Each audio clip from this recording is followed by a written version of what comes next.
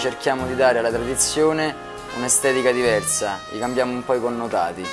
Quindi scomponiamo la tradizione per ricrearla a modo nostro. Buongiorno, sono Pecelli Fabio, siamo oggi al pastificio San Lorenzo a Roma, eh, locale, un riassunto diciamo, di tutti i viaggi del, dei, dei proprietari, sono quattro soci, quindi un locale stile newyorkese, un po' vintage, il primo vero bistro a Roma. Allora, questo è un locale ovviamente polivalente, noi facciamo una media di 90 coperti a sera. Ecco, come vedete alle mie spalle abbiamo un bancone eh, dove la sera serviamo tapas all'italiana, quindi tutto quello che riguarda i cicchetti, aperitivo e quant'altro, fritti, sfizi, eh, mentre poi abbiamo la sala del ristorante classico dove eh, ubicato in una zona periferica possiamo trovare il, il, cliente ideale, il cliente gourmet che vuole fare un percorso, magari eh, si prende una, una magnum di champagne, sta qua tre ore seduto in, eh, si lascia trasportare da, da noi, eh, mentre dall'altra parte possiamo trovare il ragazzo dell'università che viene, si mangia l'hamburger e, e via.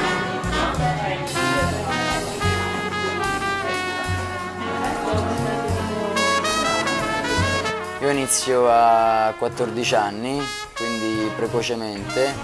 eh, faccio l'istituto alberghiero classico a Roma, eh, poi vado a lavorare in eh, molti ristoranti importanti in tutta Italia. Il primo è Nico Romito che adesso è in 3 stelle Michelin, eh, vado poi albergo 5 stelle a um, Hotel de Russia a Piazza del Popolo, eh, dopodiché mi trasferisco al Giuda Ballerino dove rimango per 5-6 anni divento secondo chef, prendiamo la stella e a quel punto mi sposto ulteriormente e decido di fare l'ultima mia esperienza importante con Riccardo Di Giacinto a Ristorante Alloro, una stella Michelin. Dopodiché eh, faccio il secondo chef, un, un resort 5 stelle russo a Salina, Capofaro Malvasia Resort della famiglia Tasca e alla fine approdo al, al pastificio San Lorenzo.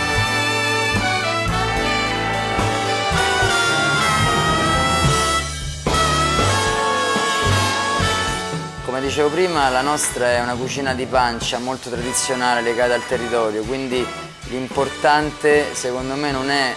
prendere, non è acquistare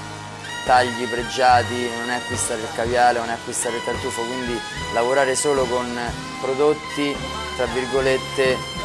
meno pregiati, quindi tagli meno importanti. Però allo stesso tempo non dobbiamo mai sottovalutare la qualità vera e propria della carne allora, perché Bovinus Luxury? Perché Bovinus è, secondo me è il connubio perfetto eh, per la mia filosofia di cucina, quindi una cucina di, di, di, pancia, come dicevamo prima, quindi di sapore, ricca di sapori, ma allo stesso tempo una cucina low cost, quindi riusciamo a dare con il massimo del prodotto, quindi qualità sempre, tagli